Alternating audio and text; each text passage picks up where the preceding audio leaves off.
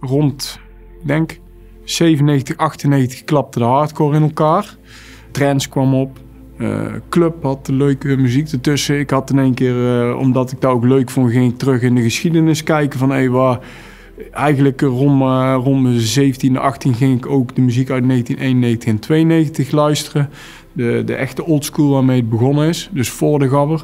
Dus mijn visie werd veel breder. Ik vond alles vet. Ja, dat, dat heeft er ook in gezorgd dat ik ook uh, ja, weer iemand leerde kennen die, die ook in de, in de ja, club trance zat.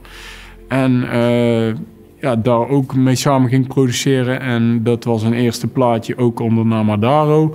Dat was eigenlijk mijn eerste release dan, met iemand anders samen. Maar de eerste keer dat ik zelf een vinyl uh, in mijn handen had, waar ik aan mee had gewerkt.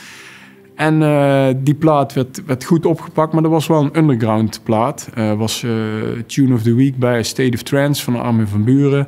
En werd door wat bekende trance DJ's gedraaid. Maar het is niet dat die, dat die doorbrak of zo. En uh, dat was dan met, met uh, Ron, een vriend van mij. En toen met de jeugdvriend van mij, met Dirk, hebben we met z'n drieën voor de grap uh, Freeloader gemaakt uh, onder de naam Driftwood. En dat werd, ja, dat liep helemaal uit de hand. Dat werd een uh, ja, klapper, zeg maar. En ook richting de top 40 in verschillende landen. En dus eigenlijk voor de grap gegaan van, hey, we vinden die je had toen wat meer die top 40 dance trends. Vinden we ook vet, dat kunnen wij ook. Gaan we ook doen. En uh, ja, dat, dat, lukte toen met die track. Ja, super vet allemaal. Hele, hele aparte dingen meegemaakt.